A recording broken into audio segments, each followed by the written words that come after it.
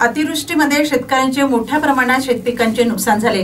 त्या पीक विम्याची तोकडी रक्कम मिळाल्याने शिवसेना ठाकरे गट आक्रमक झाला आणि विमा कंपनीच्या अधिकाऱ्याला शेतकऱ्यांकडून बेदम मारहाण करीत चेहऱ्याला काळे भासले. यवतमाळच्या यावली गावात हा प्रकार घडला. यवतमाळ जिल्ह्यातील शेतकऱ्यांना दहा रुपयापेक्षा कमी नुकसान भरपाई मिळाली आहे.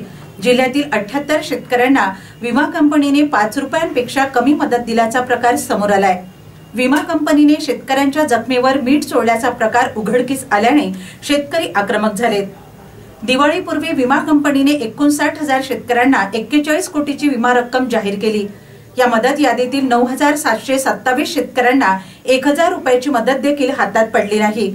यामुळे विमा कंपनीने शेतकऱ्यांच्या जखमेवर मीठ चोळण्याचा आरोप होत आहे. विशेष म्हणजे अनेक शेतकऱ्यांच्या खात्यात तीन पाच आणि दहा रुपयांची मदत गोळा झाल्याची बाब पुढे आली आहे. तर काही शेतकऱ्यांच्या खात्यात दोनशे पाचशे हजार रुपयांची मदत जमा झाल्याचा प्रकार मदत यादीतून समोर आलाय. दरम्यान विम्याच्या प्रश्नावर शिवसेना ठाकरे गट यवतमाळमध्ये आक्रमक झाल्याचे आज पाहायला मिळाले. विमा मॅनेजरला शेतीच्या बांधावर नेत बेदम मारहाण करून त्याच्या तोंडाला काळे फासण्यात आल्याची माहिती समोर आली.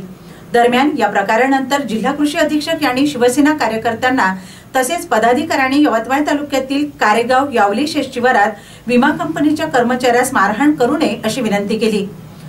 यावेळी ठाकरे गटाच्या शिवसैनिकांनी जिल्ह्यातील शेतकऱ्यांना दोन पाच आणि दहा रुपयांची मदत देत त्यांची थट्टा केल्याचा आरोप विमा कंपनीवर केलाय.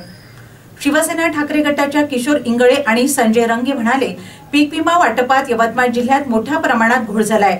सात लाख पंच्याऐंशी हजार नुकसानग्रस्त शेतकरी विम्यापासून वंचित राहिले आहेत. यवतमाळ जिल्ह्यातील शेतकऱ्यांनी पाचशे नऊ कोटींचा विमा भरला. विमा कंपनीला तीन हजार एकशे सत्याहत्तर कोटी रुपये नुकसान भरपाई देणे गरजेचे असताना प्रत्यक्षात एक्केचाळीस कोटी दहा लाख एकसष्ट हजार रुपये दिले. एकोणसाठ हजार चारशे चार शेतकऱ्यांना एक्केचाळीस कोटी दहा लाख रुपये विमा खात्यात जमा झालेत. आठ लाख चौवेचाळीस हजार शेतकऱ्यांनी विमा काढला होता.